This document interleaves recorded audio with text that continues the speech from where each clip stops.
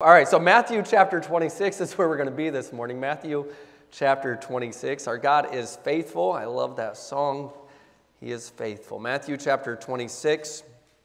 And we are going to be reading about Jesus at the end of his life this morning. If you will stand with me as we read from verses 36 down to verse 46. Again, Matthew chapter 26, beginning in verse 36. It says here, Then cometh Jesus with them unto a place called Gethsemane and saith unto the disciples, Sit ye here, while I go and pray yonder. And he took with him Peter and the two sons of Zebedee, and began to be sorrowful and very heavy. Then saith he unto them, My soul is exceeding sorrowful, even unto death. Tarry ye here, and watch with me. And he went a little farther, and fell on his face, and prayed, saying, O my Father, if it be possible, let this cup pass from me. Nevertheless, not as I will, but as thou wilt. And he cometh unto the disciples, and findeth them asleep, and saith unto Peter, What? Could ye not watch with me one hour? Watch and pray that ye enter not into temptation. The spirit indeed is willing, but the flesh is weak. And he went away again uh, the second time, and prayed, saying, O my Father, if this cup may not pass away from me, except I drink it, thy will be done. And he came and found them asleep again, for their eyes were heavy. And he left them and went away again and prayed the third time, saying the same words.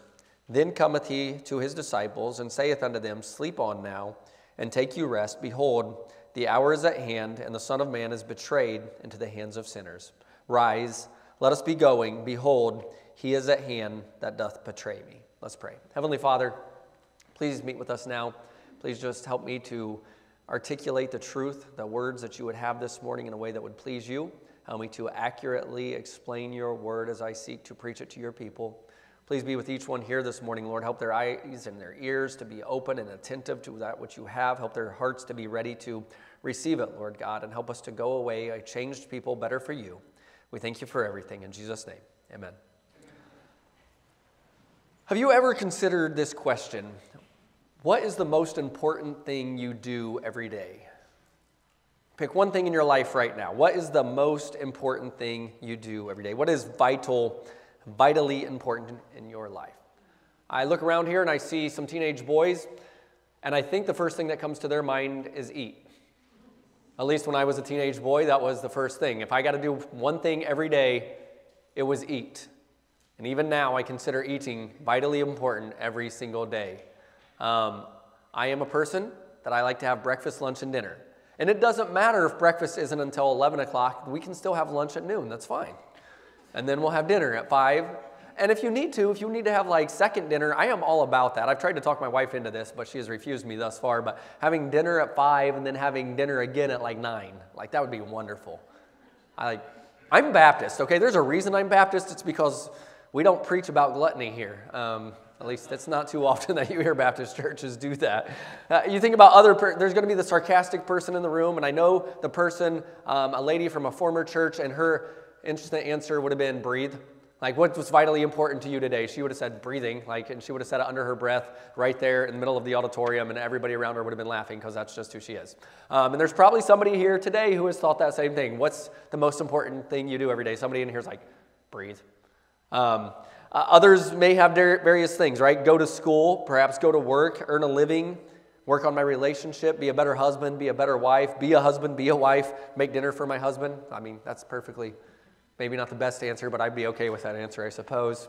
Um, there's people who think uh, studying, studying's vitally important every day, and it is. We need to learn educationally, we need to grow. Some people may think their hobby.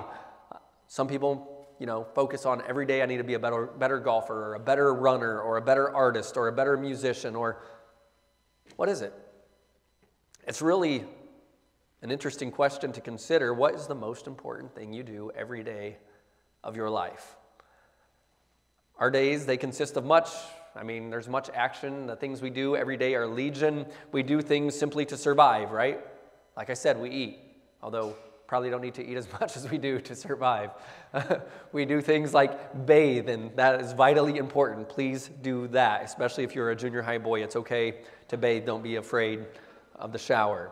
We do things relationally. We need to work on our marriages. We need to work on being better parents. We need to be, work on being better children. We have to think about providing for our families, providing income. We have entertainment. We all enjoy doing things. We have a spiritual walk. We have mental well being. There's all kinds of things we consider day in and day out. And now you think about our lives in the midst of everything going on, there's a God.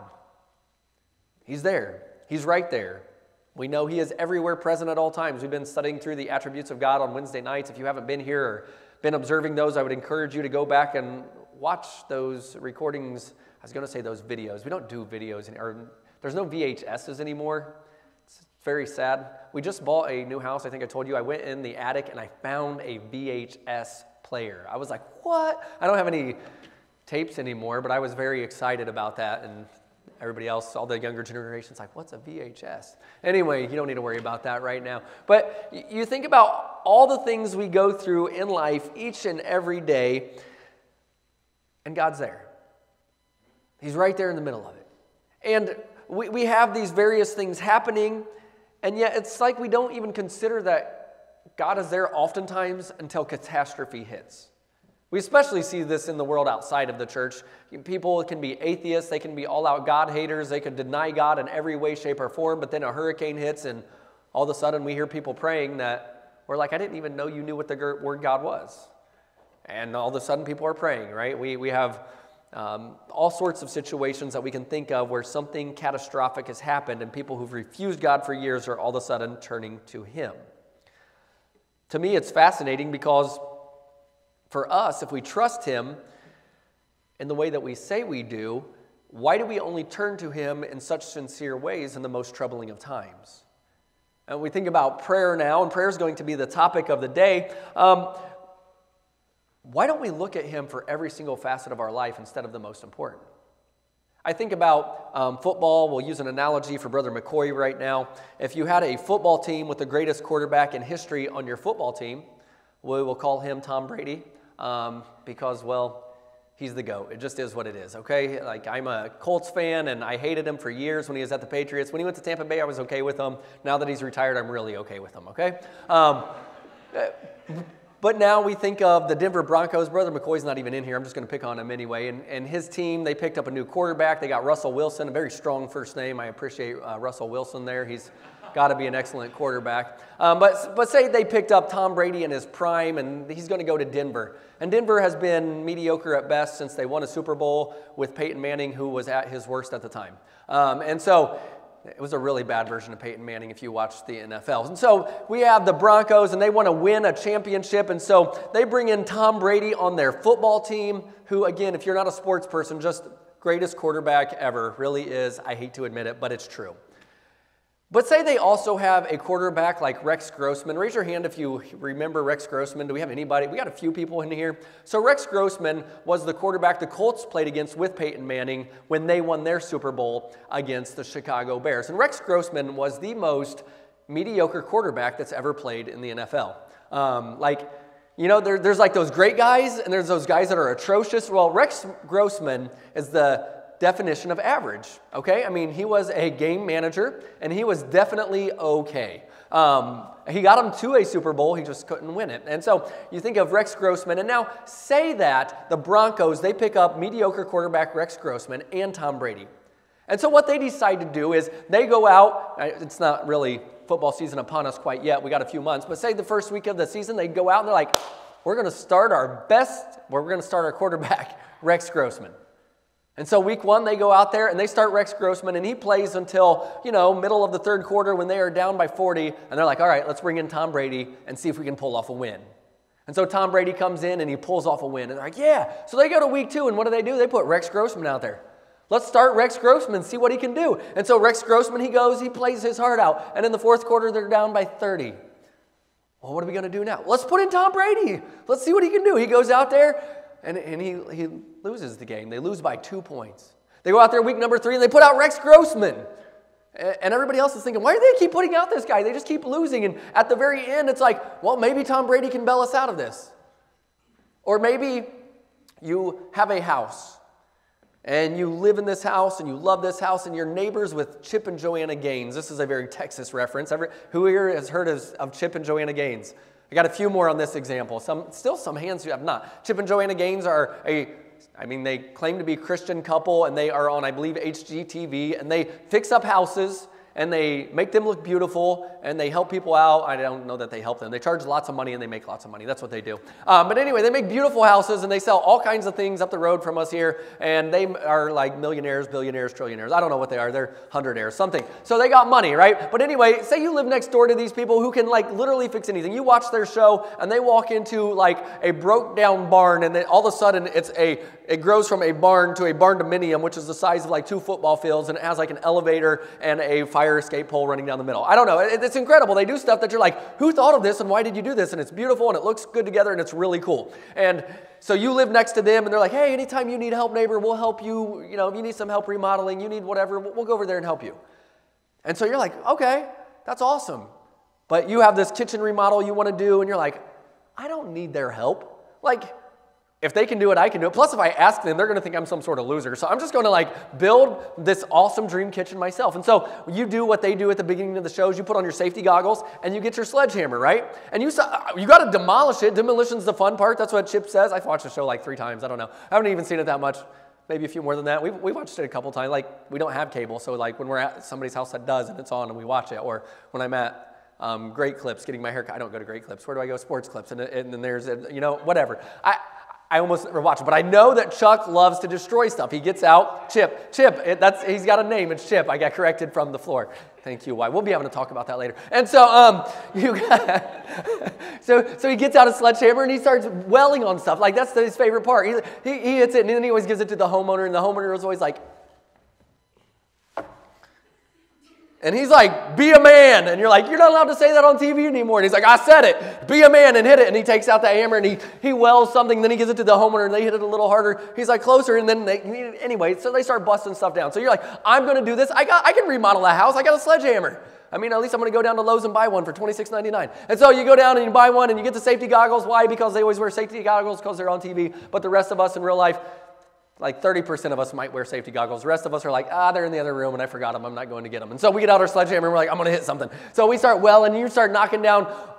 I want an open, I want an open design because that's what everybody wants because that's all the hip stuff. So like there's a wall between my kitchen and my living room. I'm going to knock down the wall. This is going to be awesome. So I take down my sledgehammer and I'm just welling on it. Like I don't know what's going to happen. I don't even know what load bearing means. And we knock it down and all of a sudden we see, and we bell out just in time, and we go over and we're like, somebody opens the door, you're like, uh, Joanna, is Chip home? Why? Because we're not going to admit this to a lady, right? We're going to wait for the man to come there. Uh, can I talk to you outside for a minute? I was doing a remodel project, and uh, I kind of, um, well, my house is falling. Could you help me now? And, and like at the last minute, we're like, oh, I can do something desperate to help me. And you think about those things, and they're absolutely ridiculous, and yet, I wonder how often this is our approach to God. We're like, I got life.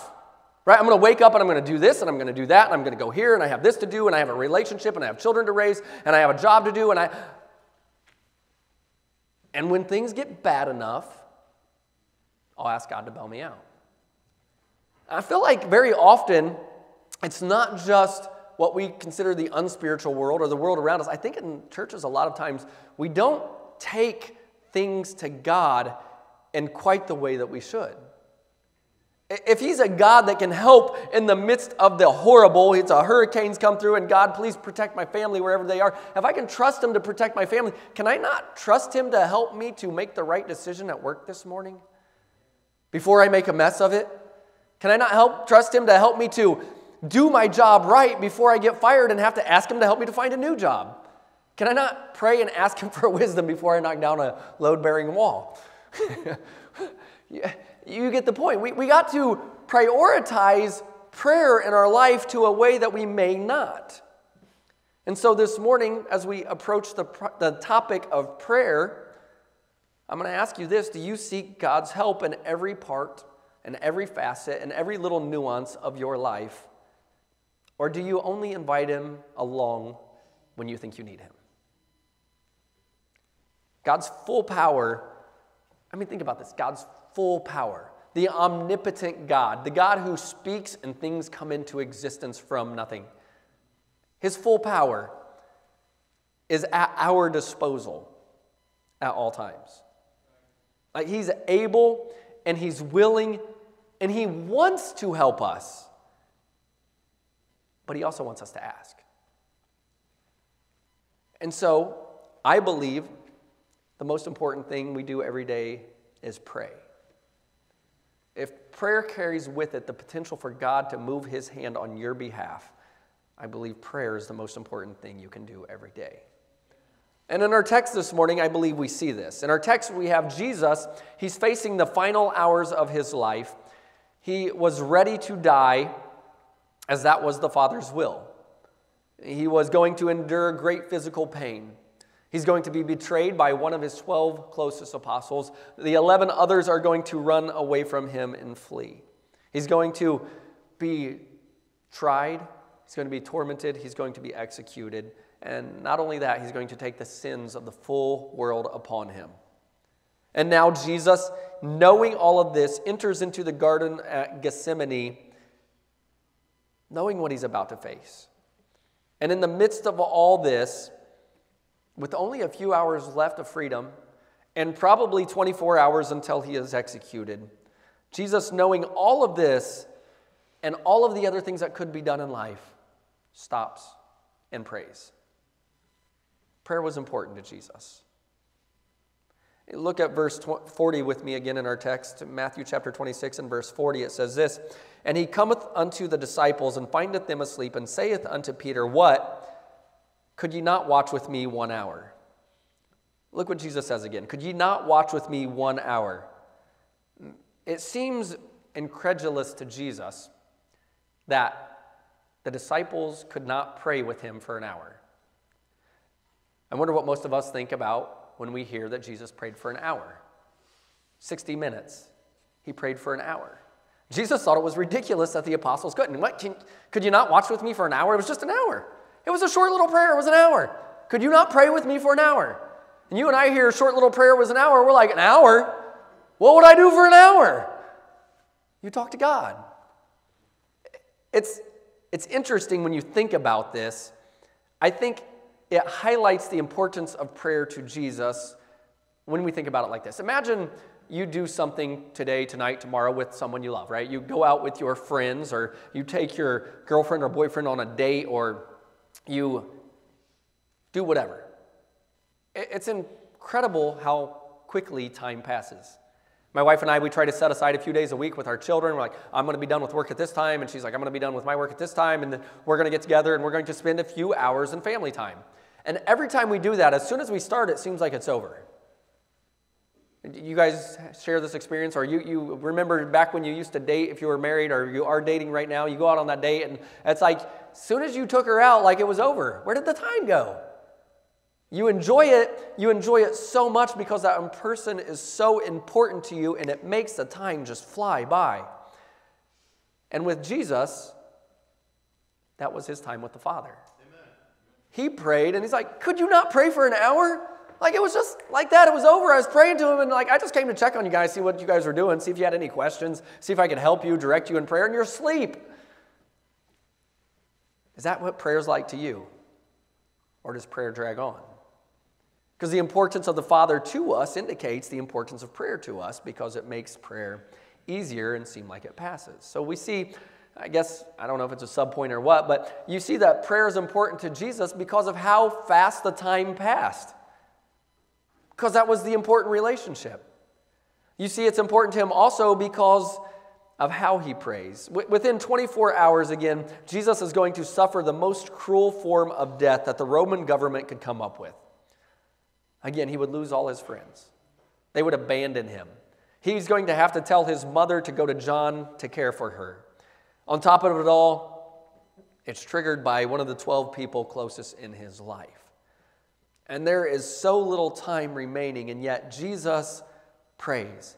And it's not a short prayer. Remember, he prays for an hour, and I love that. But then you go to verse um, 42, and it says this He went away again the second time and prayed, saying, Oh, my Father, if this cup may pass, it may not pass from me, except I drink it, thy will be done.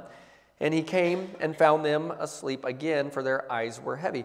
Notice here the disciples, they were to pray with him, they were to pray for him, they were to watch and pray with him.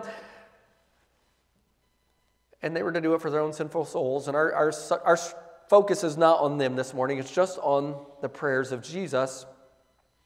Jesus had prayed for an hour, and they could only stay awake long enough to see a short portion of the prayer. Uh, it's very fascinating to me. We see that he prayed for an hour, and all they seem to remember is, "Oh Father, oh my Father, if it be possible, let this cup pass from me. Nevertheless, not as I will, but as that will." And then he goes to his disciples, and they're asleep in verse 40. And in verse 41, he says, "Watch and pray." And in verse 42, they're asleep again. The disciples are with him, but they can't stay awake and watch. He finds them sleeping. He said, a few words to them, and then he goes and he prays again. He can't make them pray, he can't make them focus on it. So he's praying, he's doing what he can. But we see prayer's not that important to them, but it's extremely important to him. If you were to turn over to Mark 14, you don't have to turn there with me, but it's a parallel passage. And verse 39, it says, And again he went away, this is the second time, and prayed and spake the same words. And so we get the impression that Prayer is important to Jesus. He's praying for an hour. He goes to them and says, Look, can you guys not just pray with me? Do you not understand the importance of prayer? He goes back to prayer. It says, and he said the same thing again, meaning he likely prayed for another hour. And then we get to our text again in Matthew in chapter 26 and verse 43, and it says, And he came and found them asleep again. So now they're asleep another time, for their eyes were heavy. And he left them and went away again and prayed the third time, saying the same words. So again, we very likely have Jesus praying for a third hour.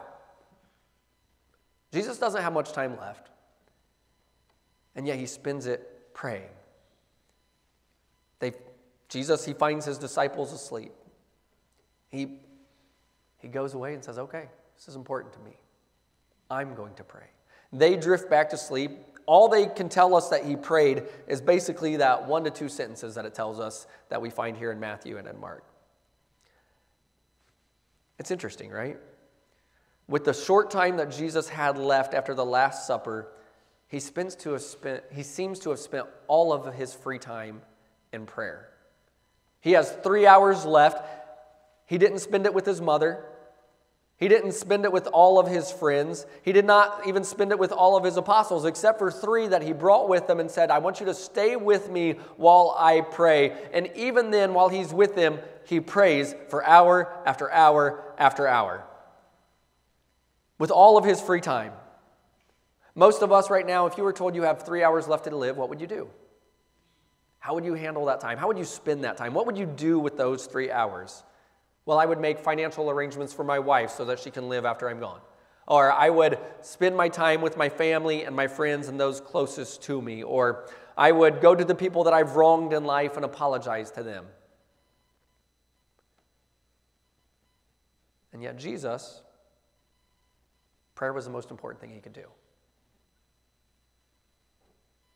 Jesus didn't make light of the matter, right? He didn't make light of any of these things. He did take his three friends with him and he said, Pray with me. Watch with me. He wanted to be with them, but the most important thing in his life was the Father. And even in that last day of his life, prayer was the most important to him. It's expressed in the Bible over and over again. Matthew 14 and verse 23 says, And when he had sent the multitudes away, he went up into a mountain apart to pray. And when the evening was come, he was there alone. And Mark 6 46, And when he had sent them away, he departed into a mountain to pray. And Mark in 1 and verse 35, and in the morning, rising up a great while before day, he went out and departed into a solitary place and there prayed. And it came to pass in Luke chapter 6, verse 12, in those days that he went out into a mountain to pray and continued all night in prayer to God. And you think about Jesus' life, he has a lot going on in life right? He is walking for miles each day. He is going and he is preaching and he is teaching and he's feeding 5,000 and he's feeding 4,000 and he's healing people and he's teaching in the synagogues and he's being threatened and he's being accused and he's taking his apostles all across the country one way to teach them an example and then he's taking them somewhere else and saying this and then he's taking them somewhere else and he's doing much and yet every day and it doesn't tell us every time he did something he prayed but we get the idea that he always made time to pray eh, and not a short amount. A great while before the morning, he goes out and he prays. Or he prays all through the night. Prayer was greatly important to Jesus. So much so that he wasn't going to let anything stop it. No, that doesn't mean he had to add a regimented time. He prayed every morning at 4:30. No, we see a schedule change here for Jesus from time to time. Sometimes it's late at night, sometimes it's early in the morning, sometimes it's whenever. He schedules the time to pray each day, though. He makes sure he has time to pray each day. He spends time in prayer each and every day. And as we read about these things, we read about Jesus, the one to whom we are to conform. I wholeheartedly believe that the most important thing he did every single day was pray. It's the thing that we see him doing constantly and repeatedly. Now we read in our text about the last moments of Jesus' life, and he could have said, I lived a sinless life, because he did, right? He doesn't have anybody he needs to apologize to. There's no one he needs to go to in these last few hours. He could have said, I'm ready to die for my friends. I'm ready to die for the world. Let me just spend a few minutes with Peter, James, and John. Let me hang out with the 12 apostles and teach them a few more points. But seemingly, with three hours of freedom left, Jesus spent them all on praying, demonstrating that it's not just prayer in times of desperation that matter, it's prayer all the time that matters. Prayer was the priority, prayer was the most important thing in his life. He had feelings and he had relationships and he had things he could be doing, and yet he prayed. Prayer was the most important thing. Prayer is the most important thing we can do every day. As you think about this assertion, you may ask why prayer is the most important thing. And uh, two simple points, I suppose, this morning. And the first one is this there's potential in prayer. There is potential in prayer. Jesus had known for years that he was the Son of God, and he had told the apostles repeatedly, I'm going to be die, I'm going to die, I'm going to be lifted up, I'm going to be uh, in several different ways. He's going to be taken and he is going to be executed. And Jesus knew that's why he was here. He knew he was born to die for the sins of men. And yet, in verse 39 of our text again, it says, And he went a little farther and fell on his face and prayed, saying, O my Father, if it be possible, let this cup pass from me. Nevertheless, not as I will, but as thou wilt. All right, remember this Jesus is 100% God, but he's also a 100% man. And as a man here, he is recognizing the incomprehensible potential in prayer. As God, Jesus knew he had to die. He knew it's what must be done. He knew he would do it. And yet, as man, he recognizes the potential mercy, the potential grace, and the potential power of God and says, I'm going to ask him because he's God. Because there is no limit to the potential of what God can do. And for every human, this is a wonderful truth. God in heaven is holy and altogether above us being in his presence. I'm unworthy ever to darken the door of heaven. I'm unworthy to be in God's presence in any way, shape, or form. He is perfect and sinless and righteous and holy, and I'm not. I'm vile and filthy and a sinner. In Matthew in chapter 19, um, if you want to turn over there, a text that switches directions, I suppose, just a little bit. In verses 23 to verse 26, it says this Then said Jesus unto his disciples, Verily I say unto you that a rich man shall hardly enter into the kingdom of heaven. And again I say unto you, it is easier for a camel to go through the eye of a needle than for a rich man to enter into the kingdom of God. When his disciples heard this, they were exceedingly amazed, saying, Who then can be saved? But Jesus beheld them and said unto them, With men this is impossible, but with God all things are possible. So, Jesus here, he says it's hard for the rich to be saved. It's, it's hard for those who have a lot to be saved. And I think of our country, and I think this applies to our country pretty universally. Uh, we may not think of ourselves as rich, but we really are when we look around the world. We think about the poorest people in our country, and our country makes a way for them to survive. We have programs that are designed to provide income, they provide housing, they provide cell phones, we provide insurance. People are pouring into our country because our poor look pretty rich compared to most countries.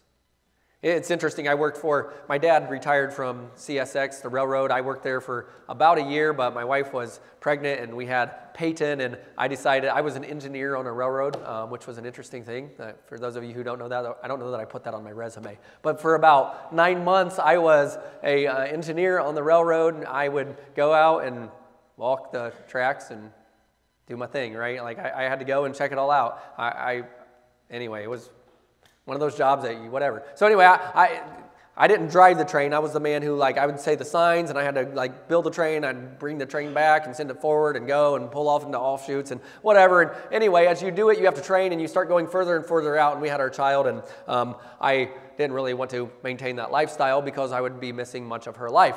Um, but I say all that to say because one of the fascinating things that I think my father can attest to is this there's a lot of people who choose to be hobos. Like, they're very wealthy and they just say, I'm going to quit life and I'm going to live on the back of a train and follow it from place to place as it goes. Pretty right, Dad? it's weird. Like the first time I'm walking a train and I'm going back and I look over and, and I see, and we, we, they take you to Choo Choo U. That's what it's called, right? That's not the real name of it, but it, that's what we affectionately call it. And, and they teach you how to be a railroader. And they tell you in class, okay, you're going to come into hobos. These are people who live on trains. Most of them aren't harmful. Some of them are. And they tell you all about it. But anyway, you're walking the first train one day and you're like, I go back like three cars and on the back of uh, whatever kind of car it was, all of a sudden there's a sleeping bag and a hat and a bag, but no man. And I'm like, where's the man? You know what I mean? Like you're is he going to attack me? What I what's going on? I, I say all that simply to say this: are, these people aren't in want for the most part. And if they are, it's because they choose to be, because there's, I mean, if you've looked at the job shortage, there's jobs to be had in our country. And a lot of people just don't want any responsibility, and so it looks pretty good in our country to be poor. I know no, nobody wants to be poor, but I'm just saying, as a whole, as a country, we're rich. And Jesus is saying this it's hard for you to be saved. It's hard because we are so very entitled. It's hard because when you have so much wealth, you can say, I can get through this. It's hard because it's like we don't know what it's like to have to ask for help. We've never had to rely on somebody else to survive. We've never had to go to our government and beg food from them, right? We, are not like they do in other countries. We don't have to rely on foreign missionaries coming in and going and lining up and saying, Can I just have a little bit of food? They, people in a lot of foreign countries know, perhaps find an easier time relying on God because they're used to relying on other people, whereas we're rich. We, we're not at the top of the food chain, perhaps financially, but still, if I have a problem, I can solve a lot of my own problems. And so Jesus is saying, because of that, it's hard for a lot of people to look to God. It's hard for them to get saved because they can see their own way out. They've provided food for themselves. They've provided houses for themselves. They've provided raiment for themselves. They've earned the things they got and they think they can rely on themselves. And Jesus says it's hard for people to be saved. And the disciples say, well, this is a hard saying. And then Jesus says, well, with men this is impossible, but with God all things are possible. I think about that, and then I think about John 6 44. No man can come to me except the Father which hath sent me draw him, and I will raise him up at that last day. It's hard, but there's potential there. It's hard for people to be saved, but that doesn't mean we can't be saved. Because God loves us, and God sent his Son to die on the cross for our sins. He says, I am here. He's, he sends a way of drawing us into us saying, Come to me, find me, I'm available, I have salvation to offer you. Even though you're not used to looking for it, I still want you. Begging, pleading with people to be saved. John 3:16 For God so loved the world that he gave his only begotten son.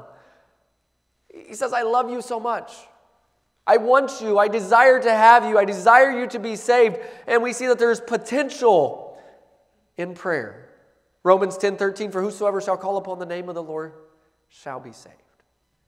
God's done everything to make salvation possible, but what's He say we have to do? We have to believe and then we have to call upon Him. We have to pray. And so we see potential in prayer from a very basic standpoint.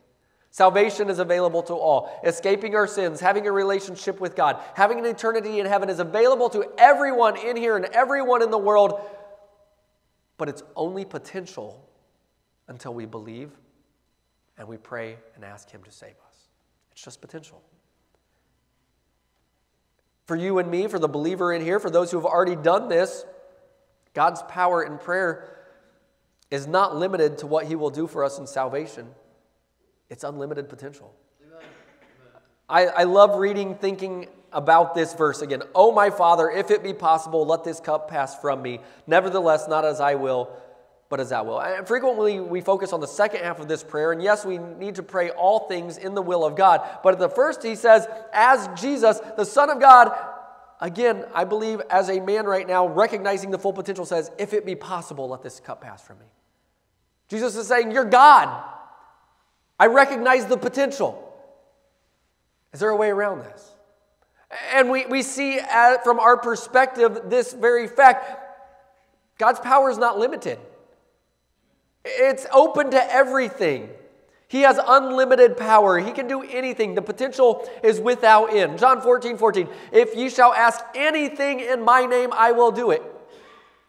Anything. Jesus makes this promise.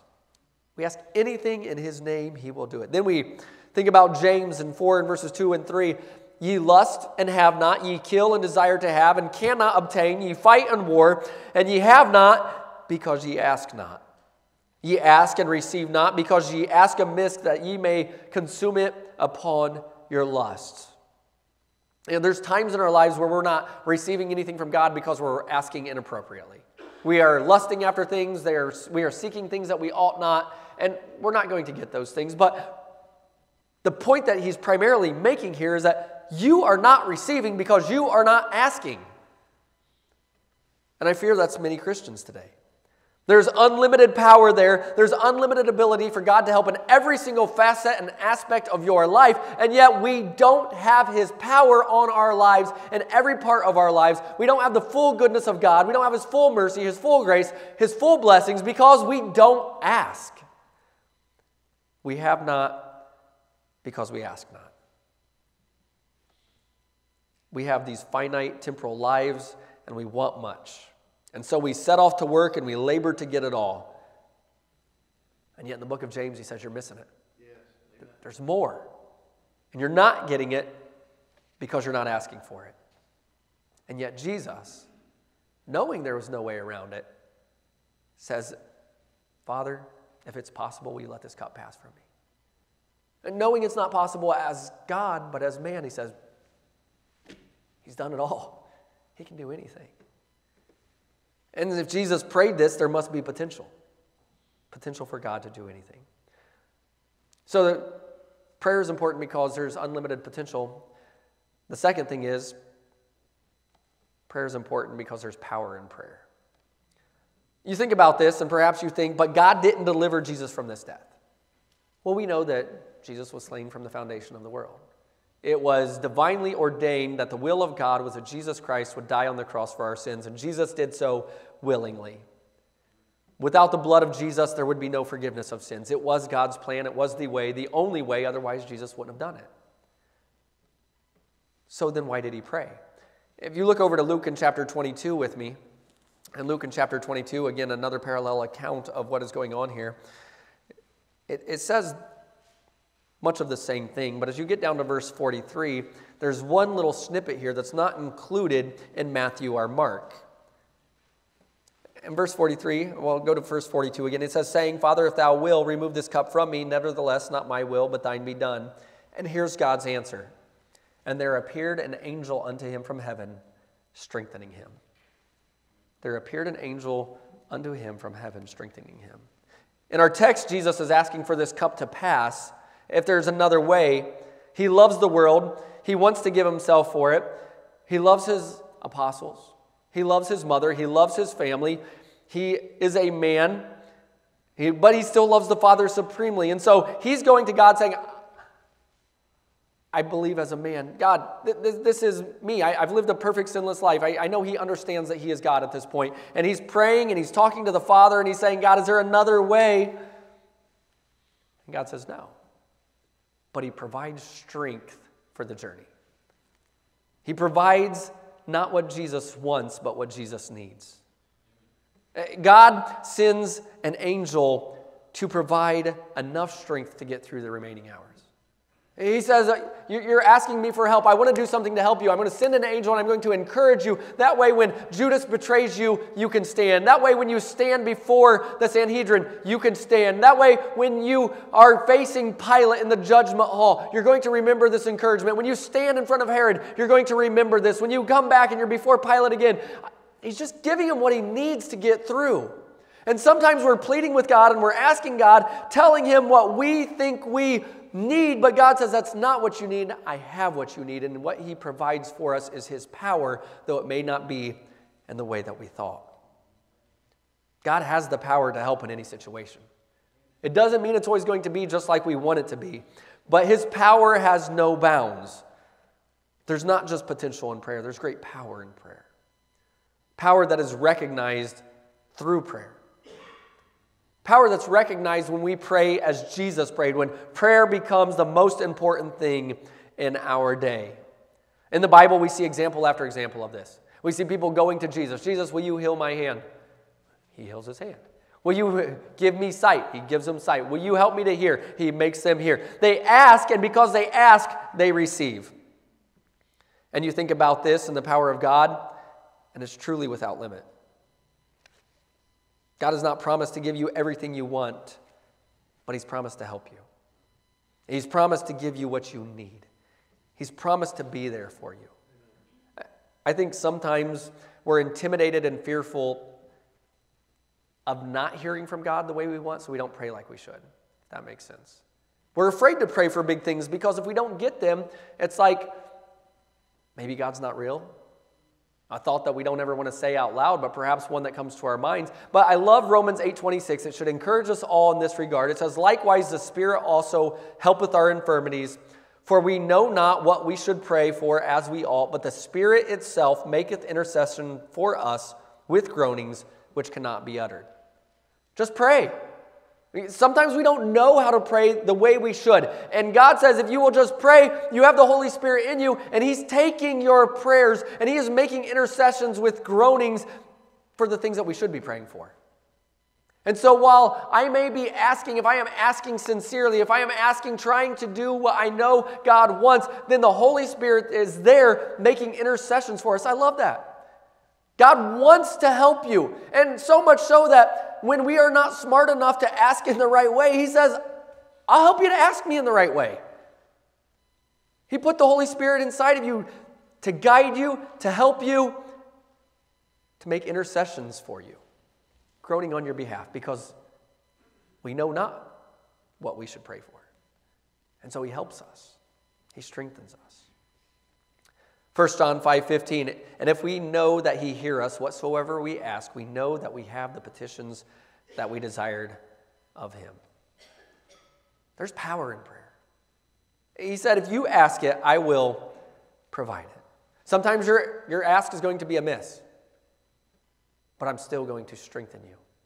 I'm still going to provide power for you. I'm still going to provide the thing that you need even though it may not be exactly as you wanted it or expected. I'm going to provide it. Have you ever experienced this power in prayer? Have you ever felt the power of God in prayer? I think in 2016 is probably the um, biggest prayer I've ever had answered, perhaps. I don't know. I've had several. I, I love sharing them with people, not to brag on my prayer life, because my prayer life is nothing, but just to see the power of God. In 2016, I had a 2001 Sierra, a GMC Sierra 2500 with 270,000 miles on it. It was a blue truck. It was somewhat pretty if you stood far away from it. You got too close, you saw a lot of rust, and you saw some oil dripping underneath of it. Um, and it, it, wasn't the greatest truck in the world, but it did me okay. And I had just left the practice of law, and I became a youth pastor, and this was the truck that I had. Um, and I knew that it was going to run out of juice, so to speak. It wasn't going to last forever. So I began um, for about a year just praying, God, will you give me a new truck? And I wasn't asking for a different truck. I said, God, will you give me a new truck? I want a brand new truck. I want it to have four doors. I want it to have four wheel drive. And I want it to be like the crew cab size, like a full size truck with four doors, four wheel drive, brand new. And I prayed for it. and I prayed for it, and I prayed for it, and I prayed for it, and I prayed for it for about a year because I knew I was going to need a different truck, and I knew that I couldn't afford one. Uh, trucks are expensive. And I wanted a new one. I probably didn't need a new one, but I asked for a new one. God, please give me a new truck. Please give me a new. And every morning, as part of my prayers, I would be part of it. God, please give me this new truck. And um, I don't know, not too long after that, my uh, well, in the middle of that, we uh, went on a vacation. My wife and I and our children and my parents, and we hooked up our campers, right? I had a 2006 camper that was the same size as this one, only it had an all wood frame and it was about twice as heavy. Um, I think it was 10,700 pounds. And so I got my 2001 with 270,000 miles on it, and we decide we're going to go from Indiana. I think we were going to South Carolina that time. And we get to about Kentucky in the mountains there, I believe, uh, around southern Kentucky, and all of a sudden, I get this tap, tap, tap, tap, tap, tap, tap, tap, tap. I'm like, oh, no. what are we going to do? We're only in Kentucky. We got a lot of driving left to do. So I call my dad and we pull over a station and we're fooling with it. And we, I think, drained the oil and we filled it with Slick 50, if I remember right. It's basically what we did. Um, and we uh, did everything we could do. We were quitting on vacation. I am no quitter. We were going on to have fun, and it was fun. Um, and, but anyway, we, we continued driving that truck all the way down there, praying, Lord, please give me a new truck. This is getting bad now. Um, I knew I couldn't afford a new truck. That truck, it was burning as much oil as um, I was gasoline almost, I feel like. It was like every time you stop, you got to add some in it. It was leaking it, it was burning it, and it ended up with an exhaust leak. It had all kinds of wonderful problems. It was great. But uh, about a week before, and this was about a year after I started praying, about a week before we took this trip, I got a call from somebody that I did legal work for like six years before that. Um, and he said, Hey, Russell. I'm like, Yeah. He's like, I got a check for you, or I'm going to have a check for you. I'm like, What? He's like, A case you worked on a long time ago. He's like, and We finally got through a bunch of stuff that would bore you guys to death. But anyway, he, he goes, I, am going to send you a check. I'm like, You paid me for all the work. Like, I got paid hourly very well to do all the work. I was like, You don't owe me anything. He's like, yeah, but we won a uh, attorney's fee award. I'm like, well, that's interesting. He's like, I know you haven't been on the case, but I want to pay you for all the hours you did. I'm like, oh, awesome. That'd be wonderful. What am I going to get? A couple thousand dollars? This will be great. And so like, i didn't really think much about it, but I can't remember if we were on vacation when I got the call back or if it was right after vacation. But I get a call from him and he's like, hey, Russell. I'm like, yeah. He's like, uh, I got a check for you. I'm thinking, Lord, are you answering my prayer right now? He's like, how much for? And he told me the amount. And it was enough to buy any truck I wanted, fully loaded in any way I wanted. Like brand new. I'm like, Lord, what? I did this legal work for many years before. I was paid hourly. He literally owed me nothing. And yet I'm praying for this truck I'm praying for this truck I'm praying for this truck. And it's like God to say to me, I am providing you the truck right now, made sure to wait until my truck broke down before he said, This is the money. That way you don't conflate these two issues in your head and you're asking me for a new truck later on. Like the truck was broke and I got the call. Here's the money, here's the broke truck. Go buy yourself a new truck. That's an answer to prayer. I mean, you see God's power in it all. I, I, I think of all the prayers that I prayed, and that's one of the ones that, like, when I think of God's power, it's like, wow.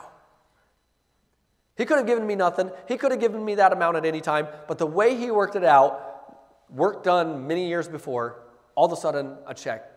To literally, I, I walked in, said, This is the truck I want. and I wrote them a check. I've never wrote that big of a check before or since. Praise the Lord. He gave me the money to write a check for a new truck. And I say all of this just to say this there's power in prayer. Amen. Amen. I don't know if you've seen it, but if you haven't seen it, you're missing out. Prayer should be the most important thing in our lives because there is great potential, but it's not just potential, it's great power. If you don't have that power in your life, you're missing out. And so, I guess in conclusion this morning, I ask you this What's the most important thing in your life?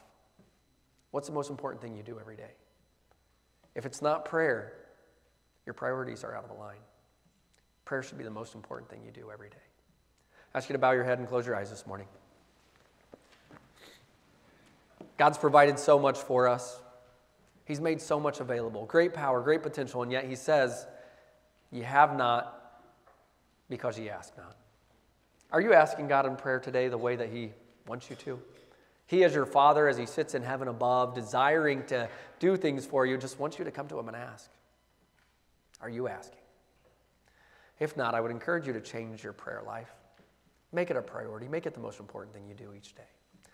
Heavenly Father, we thank you for this day you've given us. We ask now that you would just help us to perceive the things that you would have us to from this message. Help us to make you a priority and prayer to you a priority each day in a way that perhaps we have not. Help us to seek your power, Lord, because we know in you there is great potential, but it's not just potential, Lord. Lord, you make things available to us, and then you say, if we will just ask, you will give it. If we ask anything in Jesus' name, you will do it. Lord, I ask now in Jesus' name that you would meet with us in this church and help us to become more of the Christians you would have us to be. Meet with us in this invitation. In Jesus' name we pray. Amen.